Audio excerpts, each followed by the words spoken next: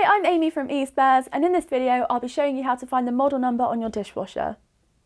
If your dishwasher is in need of replacement parts, then knowing your model number can help you find the right part for your specific machine. Many spare parts look really similar but vary slightly depending on each specific make and model. So if you have your model number on hand when looking for spare parts, it'll ensure that you're finding the correct part that's compatible with your machine. If you're trying to diagnose a fault with your machine, then your model number can help you there too, as you'll be able to search for common problems with your specific model. Another reason why knowing your model number is important is for the safety of your appliance. You may have heard news reports of manufacturers recalling appliances from time to time due to safety concerns. These recalls do happen and they can affect any one of your household appliances. Continuing to run your appliance after it's been recalled is a danger to you and your home. When a manufacturer does issue a recall, they'll release a series of makes and models of all the appliances affected by the issue. So if you know your model number, you can check through the list and find out whether yours has been affected and whether it needs to be repaired or replaced to make it safe. For more information on appliance recalls, take a look at our video up here and we'll link even more about appliance safety at the end of this video. So let's help you find your model number on your dishwasher. We're looking for a sticker or a rating plate that will have all the information we need on it.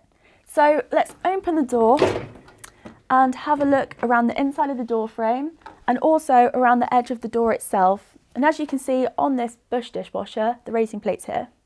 You can also look on the side and the back of your machine too. If your dishwasher is built in, then you may have to remove the cupboard door to find your model number. This is because sometimes the model number is placed on the front of the machine before the cupboard door is added. So if you can't find your model number elsewhere, this may be worth a try. If your model number is tucked away or out of view, then you can try taking a photo of it on your phone with the flash on or shining a torch to get the information you need off it. This will save you having to pull out your machine. If your model number has become faded or rubbed off, then not to worry, we can still help you find the information you need. Take a look at our video up here where we explain what to do if your model number is no longer readable or you just can't find it. Now that you've hopefully located your model number information, here's what to look for. The format of the model number and product or serial numbers that you may also need can vary depending on the manufacturer of the appliance. The model number, which is typically a combination of letters and numbers and can also contain special characters such as forward slashes or dashes. The data sticker may also indicate which number on there is the model number by saying something like mod or model in front of the number. I'm just going to run through a few other examples of how different model numbers are displayed on different brands. So if you have an AEG, an Electrolux or a Zanussi model, then you're looking for the model number and also the specific product number, which is usually 11 digits long. It starts with a 9 and before the last two digits there's either a space or a slash.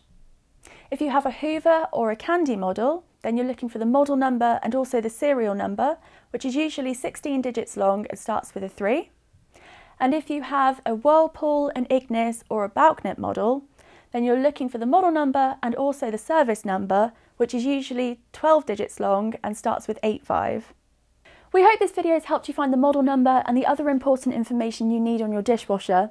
Be sure to take note of these should you ever need replacement spare parts for your machine. We'll link down below where on our website you can find all the accessories and the spare parts you need to fix your dishwasher yourself. And as promised, here are our appliance safety tip videos so you can keep your dishwasher and your other home appliances safe too.